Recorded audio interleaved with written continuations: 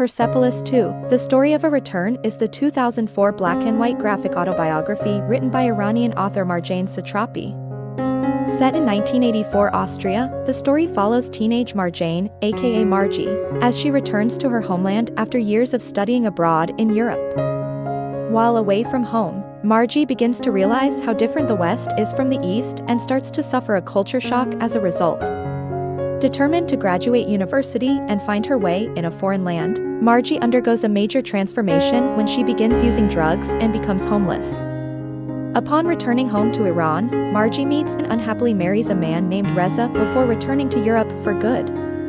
Persepolis 2, the story of a return has been called delectable, dances with drama and insouciant wit, by the New York Times Book Review, and a brilliant and unusual graphic memoir, by Vogue. The graphic novel was named a New York Times Notable Book, a Time magazine, Best Comics of the Year, as well as a Los Angeles Times and San Francisco Chronicle bestseller.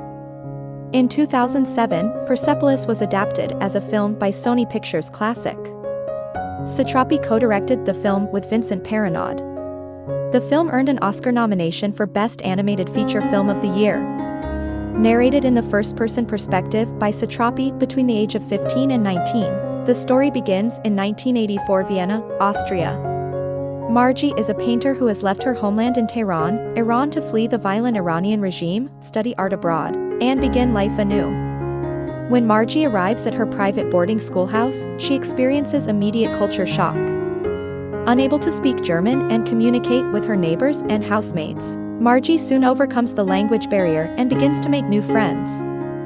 However, Marji's mother's friend, Zozo, kicks Marji out of her house and sends her to a convent. Marji slowly acclimates to the Western culture by celebrating Christmas and attending a holiday mass. However, Marji cannot strip her Iranian identity entirely.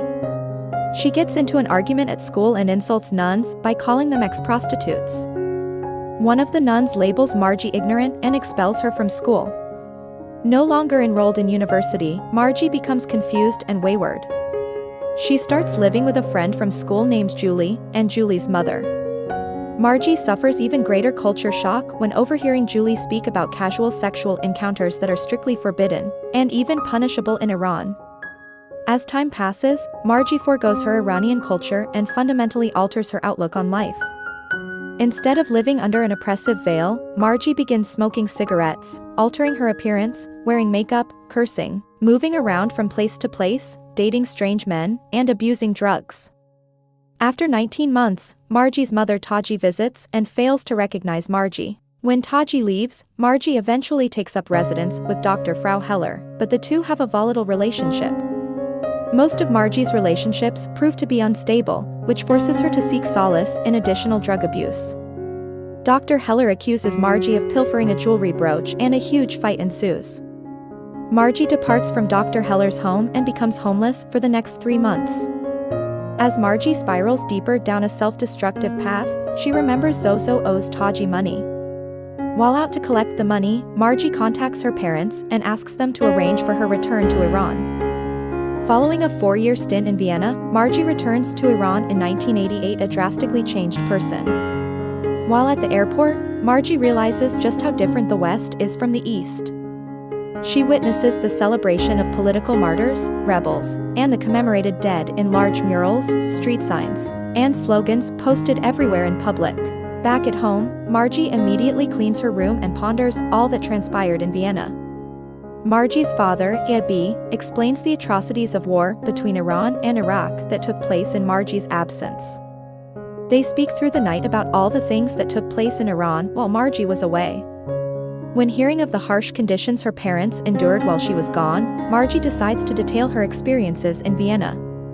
But the reminiscence makes Marji severely depressed. Margie tries to commit suicide twice. Firstly, she drinks a bottle of vodka and slits her wrists. Secondly, she imbibes a handful of pills. Marji views her survival as a good omen and begins rehabilitating her life by getting a job and focusing on her physical health. Soon, Marjane meets a man named Reza, who is a fellow painter.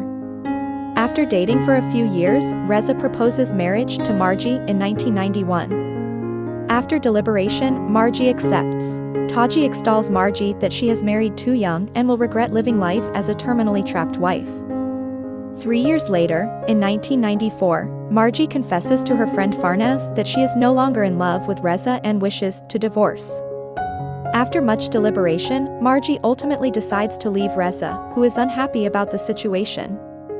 Marji approaches her parents and informs them of her plans to leave Reza.